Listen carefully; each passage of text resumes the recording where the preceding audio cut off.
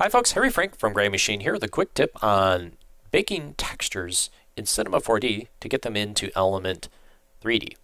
Now sometimes you have a fairly complex model that has lots of different texture maps that are either applied to UV selections or in this case I have a large uh, collection of polygons that go together to form one big object and they're all textured a little bit differently. Now, I could bring this over into Element and replace all of these manually, or I could just bake all of this stuff into one texture map and map that texture map into Element. We just have to do it using the bake object function right here under objects bake object. And what this is going to do is allow us to create a single texture that will match the UVs of the object perfectly. So if I say bake object and make sure I have the whole group selected, not just one uh, polygon. So select the entire group and we'll make a single texture. We can also add ambient occlusion or normals if you care. Um, I'll do the single texture and ambient occlusion. So that's going to give me a color map and an ambient occlusion map, which I'll apply separately. You'll want to raise the resolution from the default 512 to something at least 1024 or even 2048 by 2048. Texture maps like this are generally square in shape and are multiples of 8. Uh, from what I understand, that's what graphics cards like to see.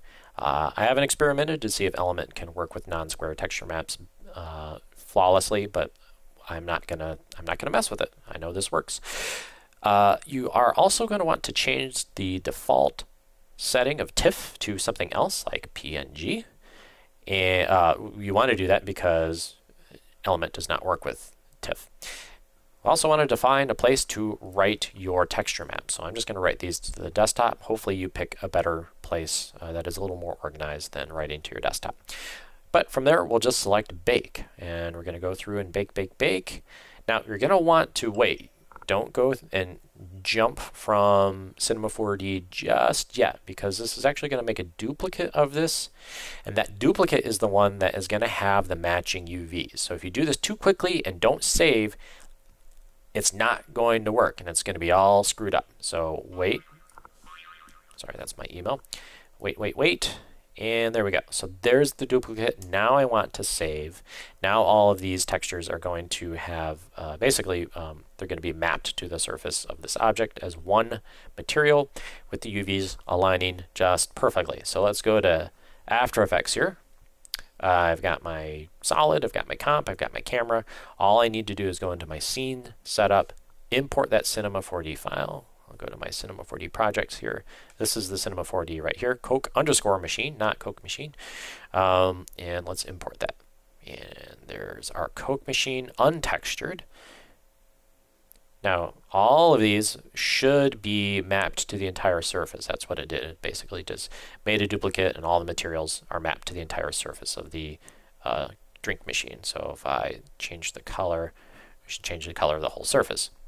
So I'm going to go to the diffuse channel here, click on load texture, go to the desktop and load that color map in. And there we go. It's mapped. Even though it looks all chopped up here, it actually maps perfectly to our drink machine. I'm going to go down to occlusion, click on that, go to load texture, my desktop, and load in the occlusion map too. And it gives us nice little shadowy areas where corners and edges meet up. So let's click on OK and OK.